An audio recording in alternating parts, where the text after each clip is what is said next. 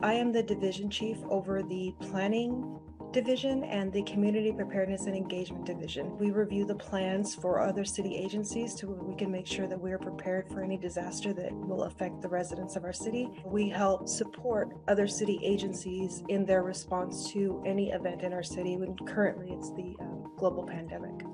I think since the time I was a little girl, I always needed to have a purpose and a mission to help others and to support others. And that's kind of been a consistent string throughout my life is it calls to me to um, be a civil servant. As a woman, we're in an age and an era where we can do anything we want. I'm excited for the young women of today.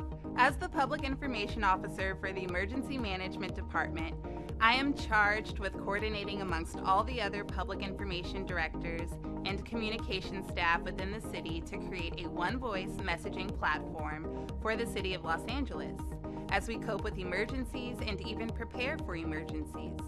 Emergency preparedness is so broad, and I think with the pandemic, we've learned that a personal emergency can turn into a larger catastrophic emergency. My main piece of career advice is that anything is possible as long as you believe in yourself. My role in the city's ability to respond to emergencies is to ensure that people with disabilities are included in the citywide response and planning efforts. My mission in life is to make a difference and uh, that's what I love about emergency management that you know you're in the background and you're able to make some type of difference to someone out there, I get to be that person. And that's what I love about this job.